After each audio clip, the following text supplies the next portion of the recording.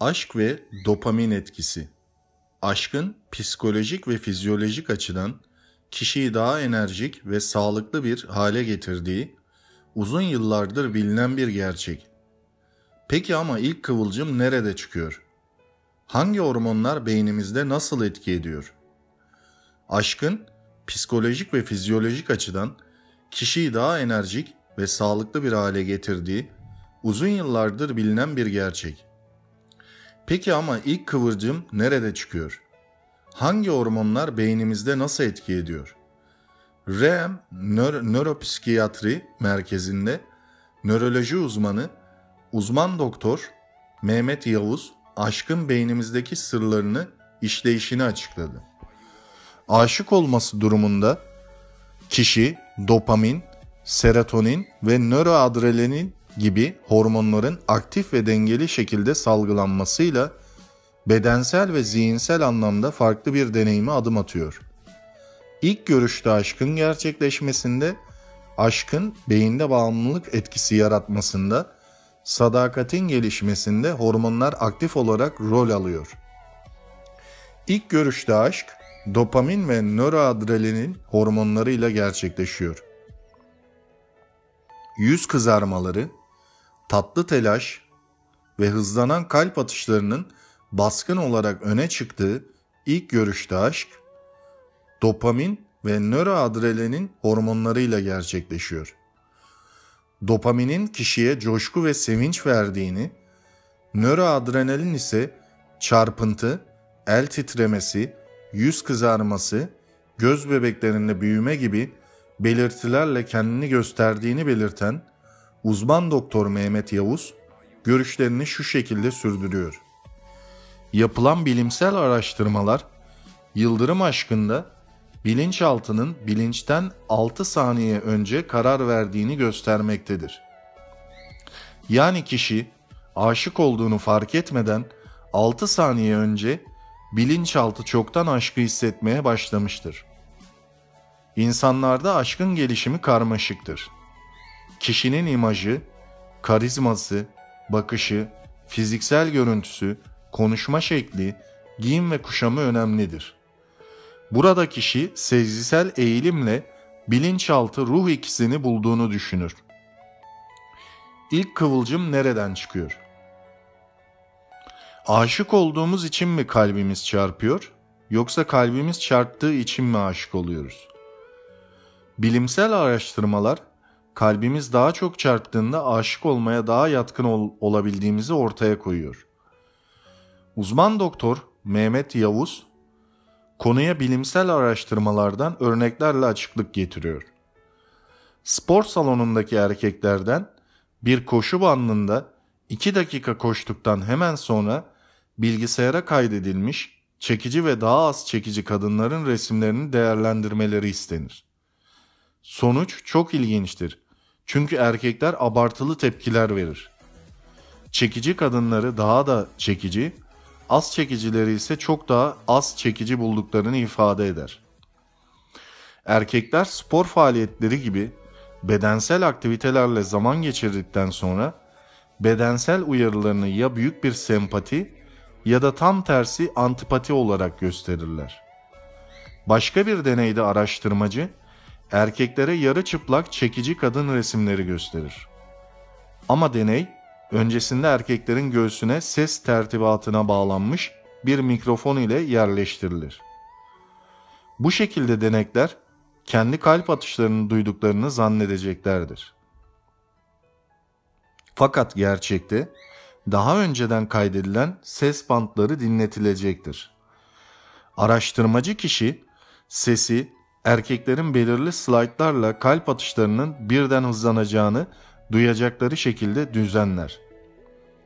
Aslında kalp litrimleri normal olduğu halde kişiye mikrofon vasıtasıyla kalp atımları sanki hızlanmış gibi algılatılır. Bu küçük aldatmacanın etkisi büyük olur. Çünkü erkekler kalp atışlarının güya hızlandığını işittikleri esnada gösterilen kadınlara en yüksek çekicilik puanlarını vermişlerdir. Daha da şaşırtıcı olansa aynı kadın fotoğrafları bir ay sonra yeniden gösterildiğinde fotoğrafları hiç hatırlamasalar bile daha önce yüksek not verdikleri kadınla yine yüksek puan vermeleridir. Çünkü artık o kadınlar sosyal hafızaya kaydedilmiştir.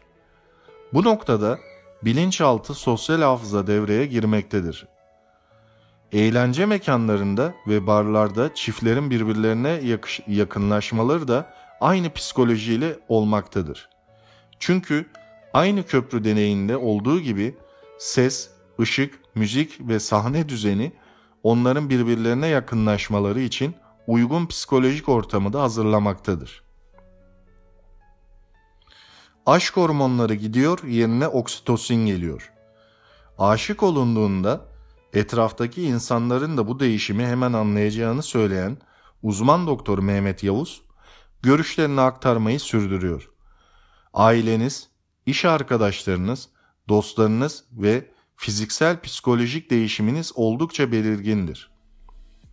Aşk hayatınıza neşe ve gülümsemeyi getirir. İstisnalar olmakla beraber aşkın ömrü iki buçuk yıldır.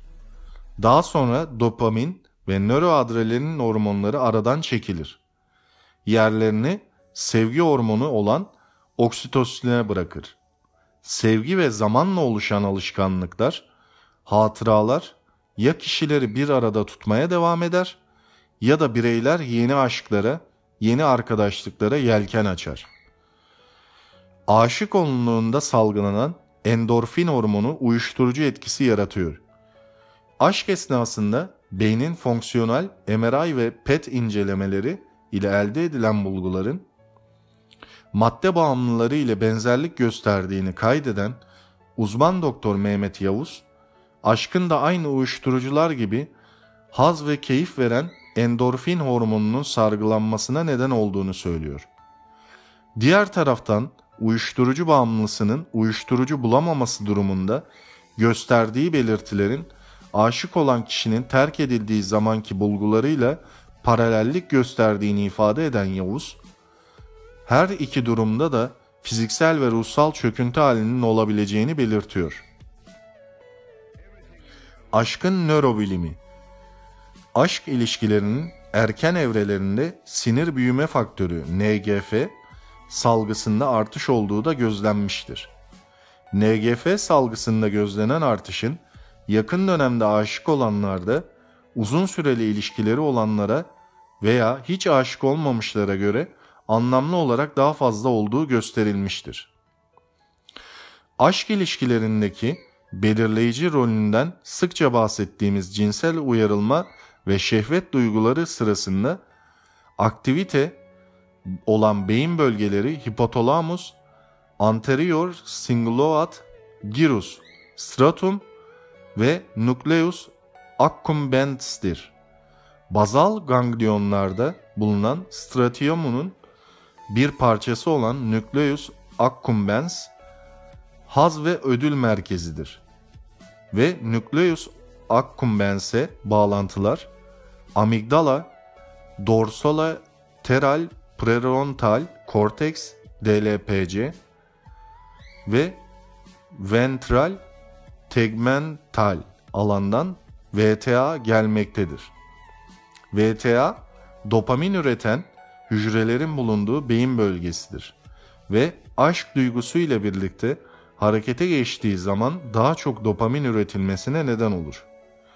Daha fazla dopamin üretilmesi artan kaudat çekirdek aktivitesi ise aşık olunanı elde etmek gibi hedefe ödül yönelik davranışları arttırmaktadır. Beynin ortasında C şeklinde yer alan kaudat çekirdek aşkla ilgili önemli beyin alanlarından bir tanesidir. Ödülün algılanmasını, hedef alınmasını ve elde edilmesi için gereken motivasyonun harekete geçirilmesini sağlamaktadır. Kaudat çekirdek aynı zamanda ilginin odaklanması ile ilgili görevlere de katılmaktadır.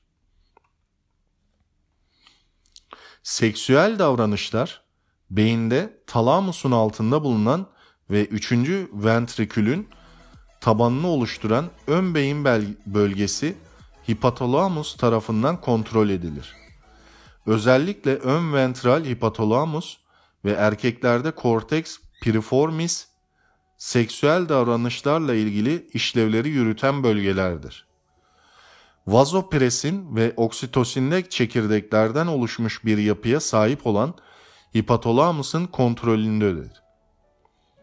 Nükleus supraopticus ve nucleus paraventricularis çekirdekleri aracılığıyla vazopresin ve oksitosin salınımlarını düzenler. Seksüel duygularla ilgisi bulunan başka bir beyin bölgesi de amigdaladır. Amigdala, beyinde temporal lobun merkezinde konumlanmış çekirdekler grubudur ve yüze yakın çekirdekten oluşmaktadır. Emosyonların denetimi amigdala, amigdala tarafından gerçekleştirilir ve tüm memelilerde sağ amigdala sola göre %16 daha büyüktür. Bu da sağ hemisferin emosyonlarla sola göre daha duyarlı oluşunu açıklayabilir.